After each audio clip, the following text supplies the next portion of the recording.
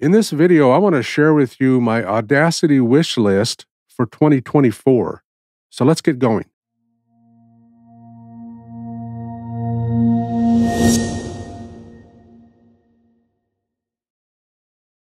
Hello, friends. Mike Adams here with Learn Audacity. I've divided my Audacity wish list for 2024 into two main categories. The first one has to do with tracks. There are these are things that I am hoping for, changes that I'm hoping can be made to enable us to better manage our tracks when we're recording and editing. And the second category that I have is for plugins or effects. And so let's get going on this right away.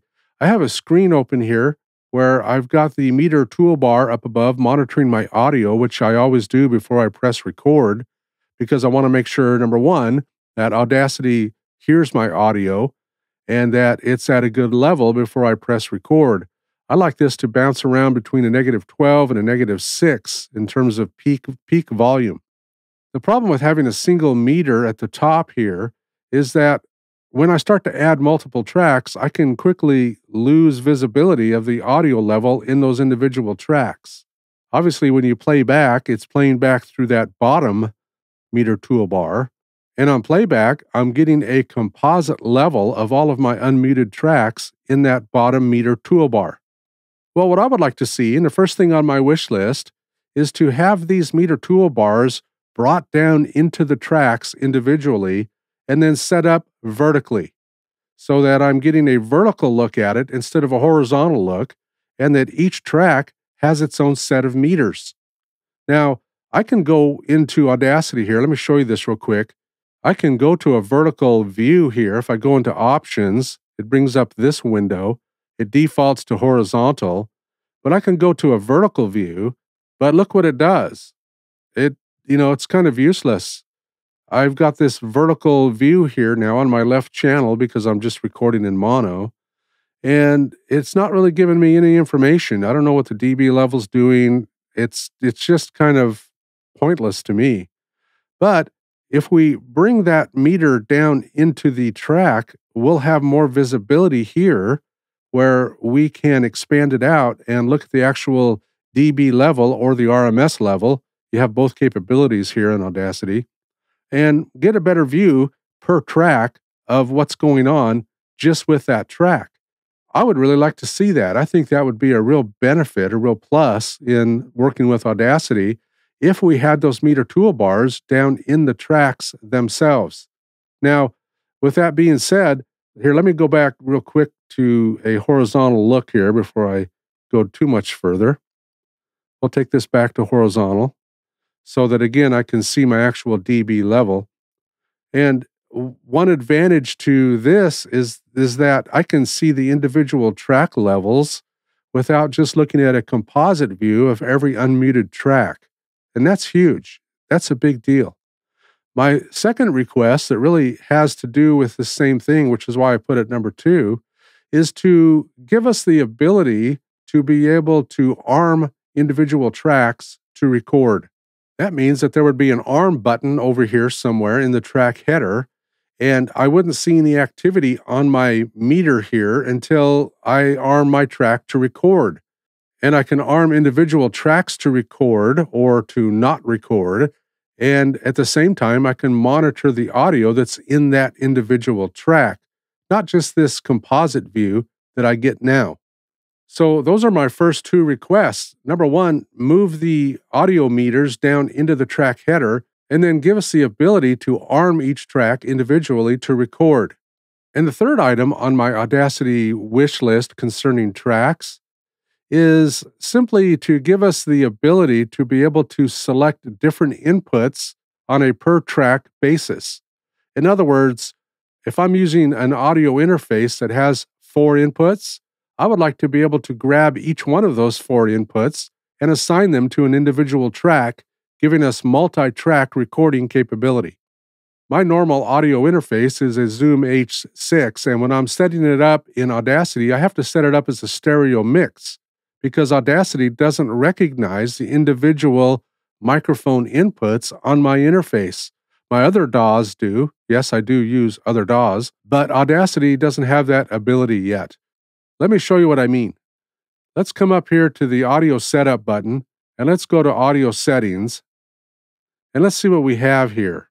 Right now, I have the ability to record via the options that are listed here, and that's all I can pick, but that's project wide. That isn't track, that isn't individual tracks, that's project wide. So if I select my MacBook Pro microphone, my MacBook Pro microphone is what's assigned to every channel or every track rather in my project. Well, I would like to correct that.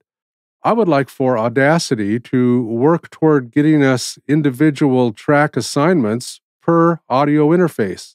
In other words, I would like to be able to assign track number one or microphone number one in my audio interface to any track, be it track one or track two or track three.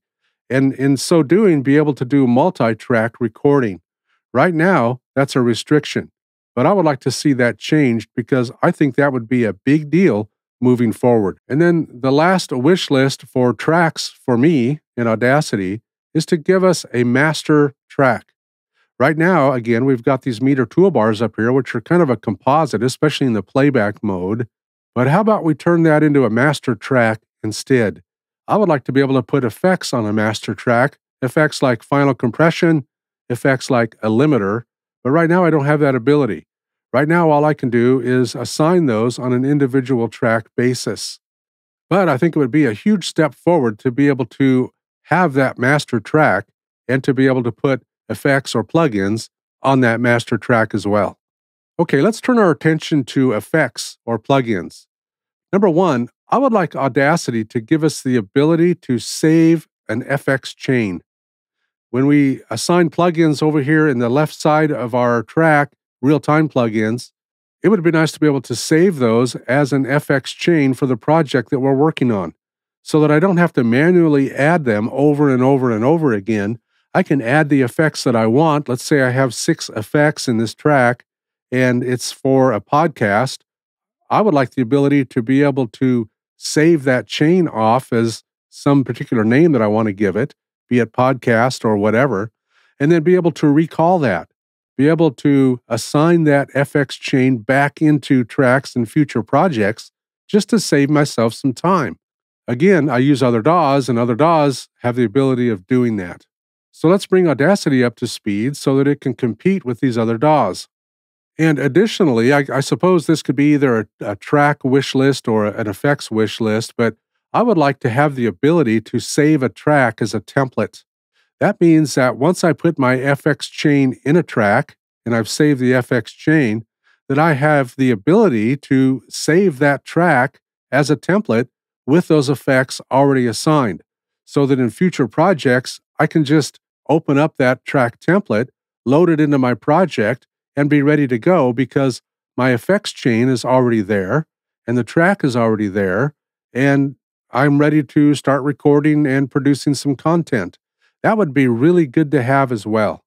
And not only to be able to save a track template, but to be able to save a project as a template. In other words, if I have a project that I'm working on, let's say I have a podcast with three people in it and a music track for a total of four tracks, well, each individual in the project is going to probably be EQ'd separately because their voices are different. They might be in a different room. They might be in a different part of the city. They might be across country. So to be able to have the ability to build an effects chain per track and then be able to save the track template and then also to be able to save the project as a template with all of my tracks preloaded with all of the effects preloaded. This is a big deal. This is a big time saver when it comes to audio production using Audacity, and it's something that I would like to see done. Now, let me draw your attention back to the screen for this next set of things on my wish list. You'll see that when I come to add an effect here, and these are real time effects, which Audacity supports a lot of them now. If I come up to add an effect, one of the options that I have here is Audacity. And Audacity has moved certain of its old Nyquist effects or its, its old plugins, rather, into the ability to use them in real time. Here you see we've got bass and treble, distortion, phaser, reverb, and wah wah. These are things that I, as a spoken word content producer, don't use. I don't want reverb in my audio. In fact, I work hard to make sure that it's not there. I'm not going to use a wah wah pedal uh, when I'm doing an audiobook or when I'm recording a podcast. I don't want that stuff there. But my point is, Audacity has begun moving some of the built in effects in Audacity into this real time category. And so I'm asking for some more that specifically relate to voiceover or to spoken word content editors. And the first one is loudness normalization. I would love to see the loudness normalization plugin in Audacity brought into this real time world right here. The loudness normalization plugin is huge. It's an incredibly powerful plugin, but it's destructive. I would like to see it moved into this non destructive arena of real time plugins so that we can use it more confidently, knowing that we're not destroying the audio that we're working on. In loudness normalization, I can set the LUFS level of my track and I can set the RMS level of my track if I'm doing ACX audiobooks. Like I said a moment ago, it's an extremely powerful plugin. Give it to us in real time.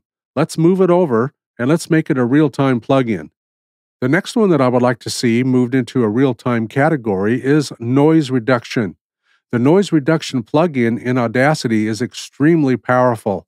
I use it all the time. I teach students how to use it all the time.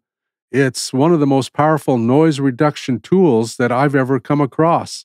And I would like to see it turned into a real time tool so that we can take advantage of it in a non destructive manner. And the third one on my list is ACX Check. Now, I know this isn't an effect. I know that's technically it's not an effects plugin, but it is a plugin that you can get for Audacity. Two things that I would like to see happen here. Number one, I would like to see ACX Check become a native plugin with Audacity. In other words, when you download and install Audacity, ACX Check is a part of the installation. ACX Check is an amazing, amazing plugin. If you're doing audiobooks, it's going to tell you whether or not your RMS level meets the standard, whether your peak level meets the standard, whether your room tone meets the standard, and whether your sample rate is at 44.1. Running ACX Check as a final step in your audiobook production ensures that you're going to meet the ACX specifications for audiobooks. So let's make it part of Audacity. Another one that I would like to see brought over is the filter curve EQ. The filter curve EQ is extremely popular with most Audacity users, but it's destructive. Let's move it over into the real time category and make it non destructive. Also, when we have the window open in the filter curve EQ, we have no way of knowing which plugin is loaded or which preset is loaded. Give us the ability to know that. Put that at the top of the screen or somewhere in the screen so that when we load a preset, we know what preset's loaded. Otherwise, you don't know. There's no indication. So give us that ability as well and make it a real time plugin. I would also like to see the Audacity compressor plugin and the noise gate plugin brought over into the real time category because right now both of those are destructive. Let's make them non destructive and let's make them available to us as non destructive plugins. So that's pretty much it for my Audacity wish list for 2024. I'm hoping that at least some of these things get brought into Audacity during 2024. I teach Audacity. I've been teaching Audacity for several years now in different venues, and I have almost 5,000 students to date. So I have my pulse on what the needs are for students in learning Audacity. I know what they're up against. I know what their wish list is, and many of those things are reflected in my wish list as well. And I think outlining the things that I have here in my wish list for Audacity would really help Audacity move into the future as a powerful competitor in the digital audio workstation arena. And hey, if you're looking for some in depth instruction in Audacity for spoken word content, here's some good news. My courses at the Audacity Bootcamp are now 30% off through January 1st, 2024. And you can get to those by going to audacitybootcamp.com. Audacitybootcamp.com. And once you're there, you'll find two courses. The first one is called Audacity Step by Step Beginner to Advanced. And that's where I take the student from a very beginning basic level and understanding of Audacity into more advanced topics. And we cover a lot of material in that course. You can preview some of the videos by going to audacitybootcamp.com. The second class that I teach is called ACX Audiobook Production using Audacity. And this course is designed primarily for ACX audiobook narrators and editors who use Audacity as their software of choice. Again, you can get to both of those courses by going to audacitybootcamp.com. And if you enter the coupon code HOLIDAY30, you'll get 30% off the already low cost of the course. Plus, I pick up your sales tax. So if you're in the market, go check it out, audacitybootcamp.com. I'll have that code below so that you can just cut and paste it in. It's also all over the website at audacitybootcamp.com. So I hope to see you there. And I think you're going to like what you hear, what you see, and what you learn in the Audacity Bootcamp. Until next time, you all take care.